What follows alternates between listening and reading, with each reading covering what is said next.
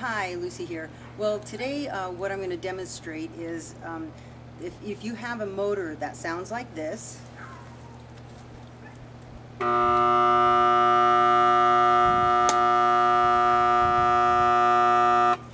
Okay, and a lot of times uh, it'll do that for a second and then it'll uh, automatically pop the breaker. Um, eventually it will. So what that probably is, usually 8 out of 10 times, it's this capacitor here. And what I do is I usually carry a bunch of them around with me. Um, and there are different uh, numbers that you have to make sure, and they're called MF.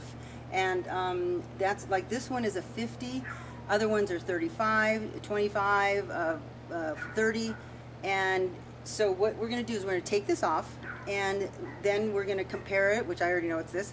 Um, and I'll show you how to, how to replace this and it's really quite easy. Um, but there's a couple things you do have to know. And I'm going to go shut the breaker off and that's number one. And I'll be right back, okay? Okay, and then when I go shut a breaker off, uh, just to be sure, um, I go and turn the pool. Okay, so it's fine. All right, so now here we go. We're basically going to take this little hood off two screws. Don't drop them in the dirt. But this is why you always carry a magnet with you. All right. And now what you want to do, I get a little flathead.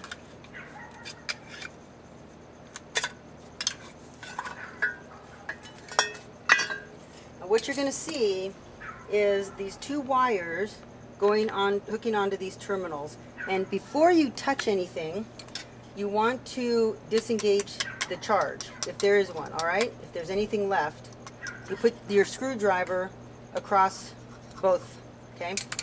Then we're gonna pull these off.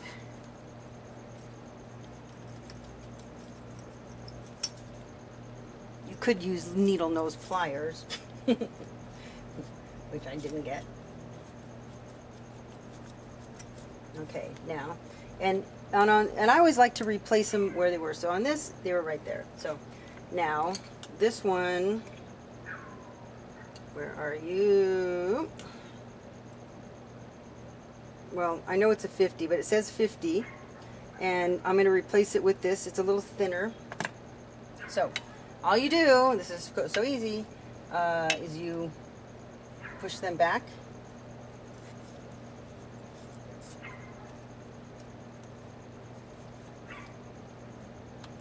where they were.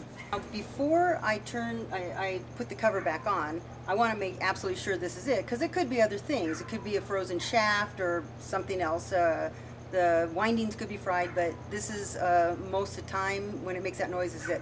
So I'm going to go turn the breaker on. Unfortunately, it's on the other side of the house. It's not right here, which would be convenient. Um, and I'll be right back.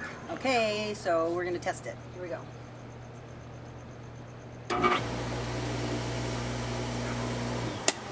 Isn't that nice?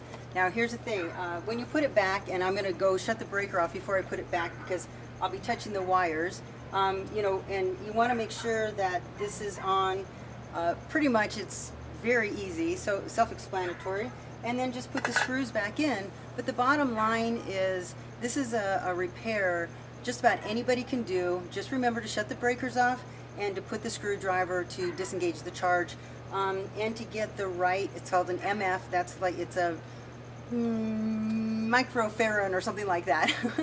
um, anyway, it, these parts cost about $44, $45, something like that.